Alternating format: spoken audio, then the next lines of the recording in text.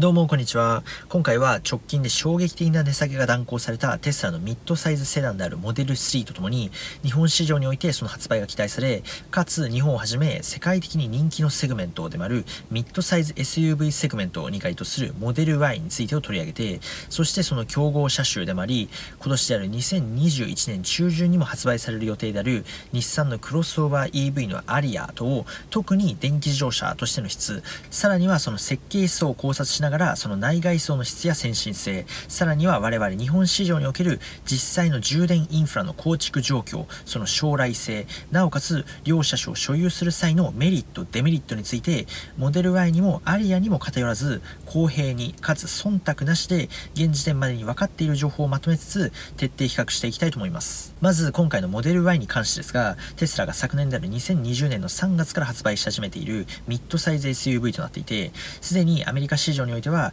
世界で最も売れ直近の大幅値下げで話題となっているミッドサイズセダンであるモデル3よりも販売台数が多いという人気の車種なのですがさらに先月である1月からは中国の上海にあるギガファクトリー3においてもモデル Y の生産を開始しその値段設定が本国である北米市場とほとんど遜色のない値段設定を達成してきたということもあって我々日本市場においても話題となり実際に電気自動車の話題をあまり扱わないようなメディアでもかなり報道されていたというその注目度はかなり高かったように思います。ただし、現時点においては、その注目のモデル Y の我々日本市場への導入時期は全くの未定となっていますし、もちろん特に注目される値段設定に関しても、正式には未だに公表されていませんので、そのモデル Y の購入を検討されている方をはじめ、現在ネット上には様々な憶測が流れてはいます。そしてそのような状況において我々日本市場に関しては日本の日産が威信をかけた本気の電気自動車でありモデル Y の同セグメントでもあるクロスオーバー EV のアリアが今年である2021年の中旬から発売されるということでやはりこれから発売される電気自動車マーケット特に我々日本市場においてモデル Y を語る際にどうしてもこの日産アリアを引き合いに出さずにはいられないと思いますし現状においてはぶっちぎりで日本メーカー最高の電気自動車の完成度をを誇っていますので、まずはこちらの日産アリアとモデル Y と、特に電気自動車としての質にフォーカスして、徹底的に比較していきたいと思います。まずはじめにラインナップに関してですが、モデル Y に関してはこちらに記載してある通り、先月である1月からアメリカ本国においても新たに追加されたエントリーグレードであるスタンダードレンジグレードと、さらに搭載バッテリー容量を増やして、航続距離などを向上させたロングレンジグレード、そしてさらに加速性能を高めた最上級グレードであるパフォーマンスグレードの3種類をラインナップップしていますが、中国市場に関してはエントリーグレードであるスタンダードレンジは未だにラインナップされず、ロングレンジとパフォーマンスの2種類となっていますので、実際に我々である日本市場にどのグレードがラインナップされるのかについては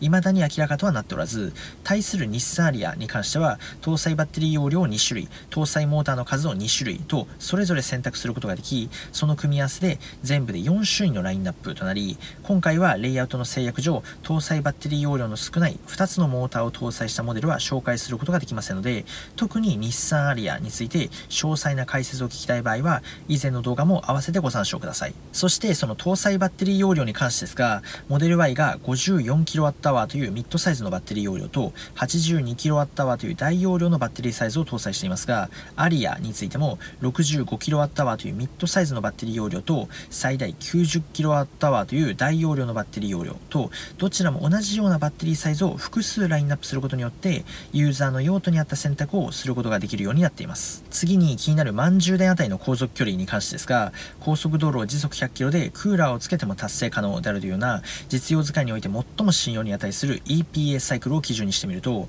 モデル Y が最長で 525km という航続距離を達成しているのに対して日産アリアに関しても最長 483km という長距離を達成していますので確かにモデル Y の方が幾分航続距離では勝っていますがいずれにしてもどちらの車種も満充電で500キロ近い航続距離を達成できているという意味においてはどちらも素晴らしいスペックを達成できていると思います。次に充電性能に関してですが、モデル Y に関しては最大 250kW という超高出力を許容することができるのに対して、アリアの方は最大 130kW という高出力を許容することができるということで、モデル Y と比較してしまうと、その充電出力は倍近い差となってしまい、その差は圧倒的かと思いきや、実際に充電にかかる時間を見てみるとその差はおおむね10分程度にとどまってしまっていてというのも電気自動車に搭載されているリチウムイオン電池の特性上充電残量が増えていくにつれてその充電出力は反比例する形で徐々に低下していきつまりモデル Y の最大充電出力である 250kW という数値が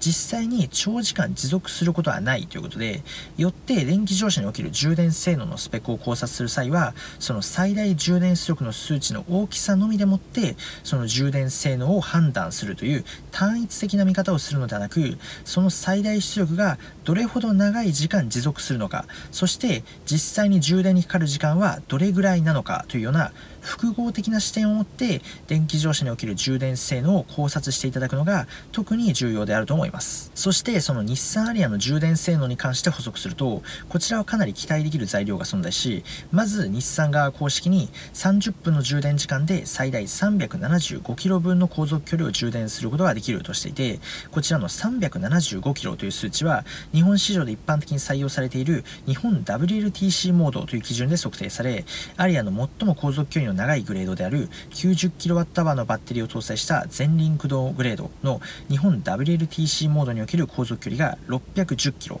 つまりアリアは30分の充電で最大61%程度ほど充電量を回復させることができこちらを分かりやすいように30分で充電できる電力量を EPA 航続距離に変換してみるとモデル Y は最大で 350km ほど回復することができるのに対してアリアの方は最大で 290km 程度ほどその航続距離を回復させることができるということになりますので確かに倍程度の最大充電出力を許容できるモデル Y には及んではいないのですが倍の出力を受け入れることができる割には実際の航続距離に変換してみるとその差は想像以上に小さいということも同時にイメージすることができるのではないでしょうか。また電気自動車のメディアである EV スマートがアリアの開発責任者に行ったインタビューにおけるその充電性能に関する発言でアリアの 130kW という最大充電出力は充電残量にしてなんと70%程度まで持続することができるとも発言していておそらくすでに電気自動車を運用されている方であればお分かりかとは思いますが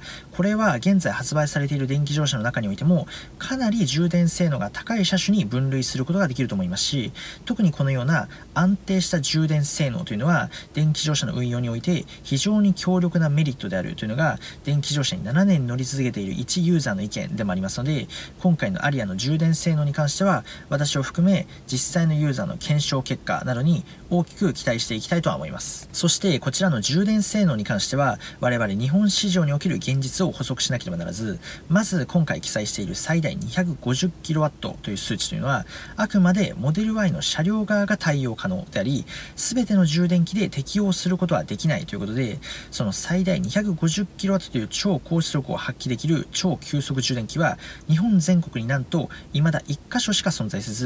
実際問題としてテスラが独自に配備している急速充電器であるスーパーチャージャーというのは全国に26箇所しか存在せずそのうちの25箇所に関しては先ほど説明した 250kW という出力を発揮することができず最大で 150kW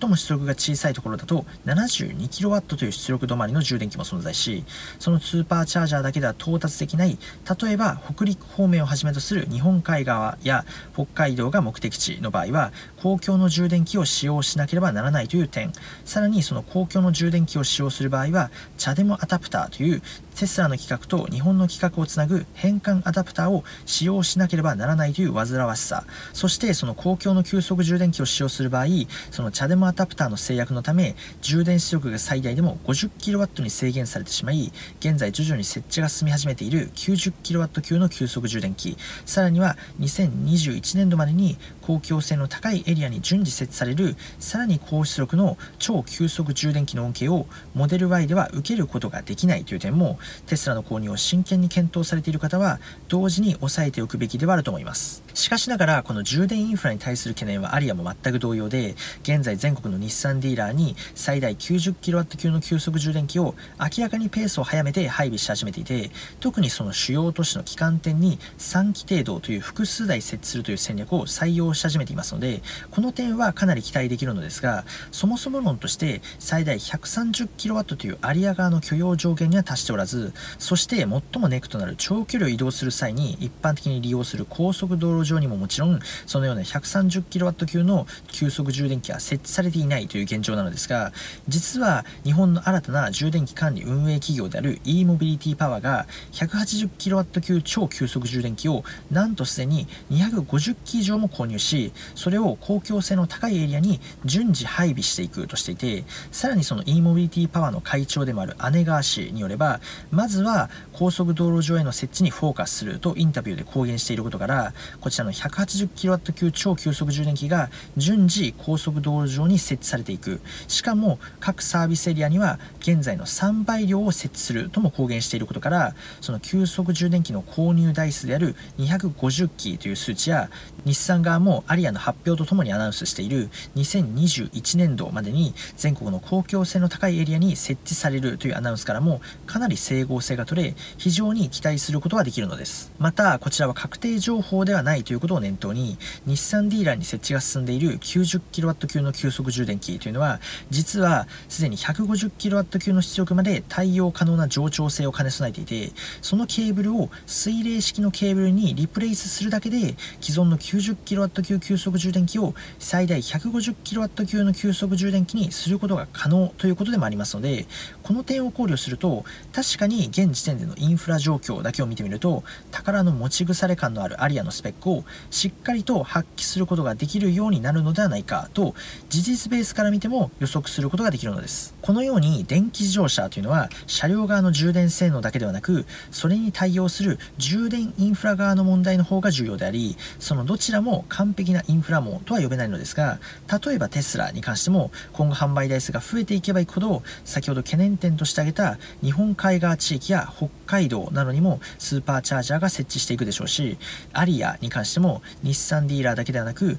最も重要な高速道路上においてアリアのスペックを活かせるような超急速充電器が配備されていくということは様々な情報を勘案すればしっかりとイメージすることができますので今後12年というスパンで見ればその充電インフラ網は確実に改善していきますがさらにあえてそれぞれの懸念点を挙げるとすればアリアに関してはそのテスラのスーパーチャージャーを使用することができないという点。モデル Y に関しては今後急速に設置されていくであろうチャデモ規格の超急速充電器の恩恵を受けることができなくなってしまうということ。また現在設置してあるスーパーチャージャーのほとんどが一旦高速道路を降りなければならずその分の煩わしささらには追加の高速料金がかかってくるという点もそれぞれ同時に押さえておかなければならないとは思います。次に加速性能に関してですが時速 100km まで加速するのにかかる時間がアリアは最短で5.1秒というこれでも素晴らしいスペックを達成しているようには見えますが実はこのタイムというのはモデル Y の中間グレードであるロングレンジと同等でありパフォーマンスに関しては驚異の3.7秒というもはや大抵のスポーツカーを凌駕することができるスペックを達成していますのでやはりその加速性能に関してはテスラが頭一つ抜けているということがお分かりになると思います。そしてその車両サイズに関してですがモデル Y が全長で4751 1mm 全幅が 1920mm と数値だけを聞くとまあそんなもんかという感覚なのですが例えばこの全幅というのはポルシェのマカンやボルボのフラグシップ SUV である XC90 などとほぼ同程度のサイズ感となりますので実は皆さんが想像しているよりもかなり巨体という印象が拭えず少なくとも全幅が 1850mm のモデル3の兄弟車であるから大体同じような感覚なのではないかと高をくくっているともしかしたらあまり運転が得意でない方であったり特に街の中心部に住んでいる方などは少し大きすぎると感じてしまうかもしれませんし例えば自分以外に運転する機会がある場合それこそ例えば奥さんも定期的に運転するような場合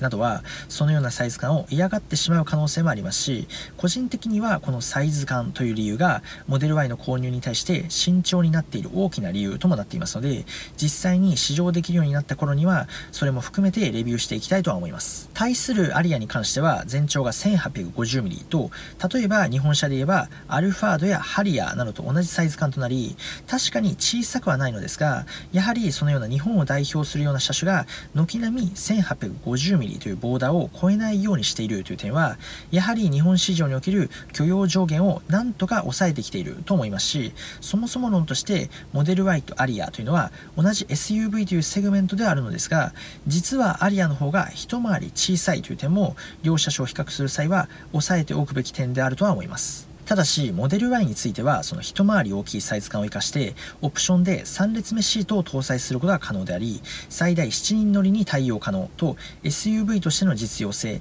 さらには子供を複数抱えているようなファミリーには、特に訴求力が高いと思いますし、私がモデル Y を購入する場合は、間違いなく3列目シートオプションを選択すると考えていましたが、その先月である1月度から本国において選択可能となった3列目シートの実用性について、すでに納車されている多くのオーナーによってその居住性に疑問の声が上がっていて特にそのヘッドクリアランスについて多くのメディアが仮に事故が発生してしまった場合致命的な怪我につながる可能性を指摘しているくらいですのでやはりいくらテスラの技術力でもってしてもさすがにミッドサイズ SUV であるモデル Y に3列目を搭載することは厳しかったということがお分かりいただけると思いますしそもそも致命的なリスクにつながる危険性が少しでもあるのであれば子供を複数抱えたとしても少なくともモデル Y に3列目を搭載するという選択肢は個人的には除外されることになりました。そして最後に最も気になるなる車両価格に関してですが、まずアリアに関しては、車両本体の価格は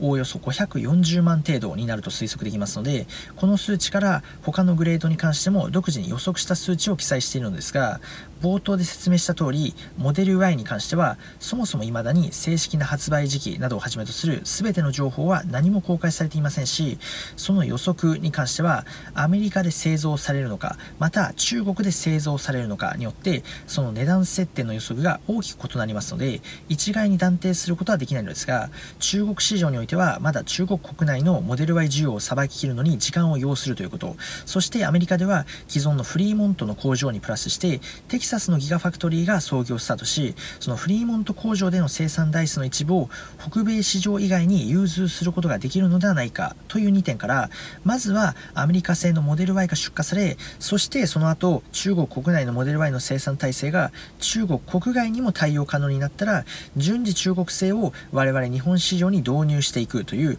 モデル3の適用状況と同様になるのではないかと推測しています。そしてこちらの推測でいけば、まず2021年の最後までには納車されると踏んでいるアメリカ製の場合、モデル Y の値段設定はこのようになり、エントリーグレードが550万程度からのスタートと、日産アリアのエントリーグレードである540万という数値と、ほぼ同じスタートラインになるのではないかと推測することができるのですが、おそらく2022年以降に切り替えとなるであろう中国製モデル Y の場合、現状のモデル3の発売価格と中国市場で発売されているモデル Y の価格格設定の比率を適用してみると、おそらくですが、エントリーグレードであるスタンダードレンジに関しては500万ジャスト、もしくはわずかに切ってくる可能性すら考えられるくらいの値段設定になることが予測できますので、今回の比較対象であるアリアよりも安い値段設定を達成してきてしまうということなんです。いずれにしてもこのように電気自動車としての質を比較してみるとその短期的な充電インフラ網の整備計画なども合わせていけば実は我々日本市場においてはそこまで大きな差ではないという見方ができると思うのですが問題はやはりその値段設定となっていてアメリカ市場からの購入の場合はややアリアの方が割安に購入することができると予測することは可能ですが今後中国の需要が安定してくれば間違いなくその中国製のモデル Y を導入することは直近でアナウンスされたモデル3の大幅値下げの一件を見ても確定的であり、その2022年以降に導入されるであろう中国製のモデル Y であれば、未だにラインナップはされてはいないものの、おそらくエントリーグレードが500万程度、もしくはそれを切ってくる可能性も高く、そうなった場合、アリアよりもモデル Y の方がそのコストパフォーマンスが高くなっていくということですね。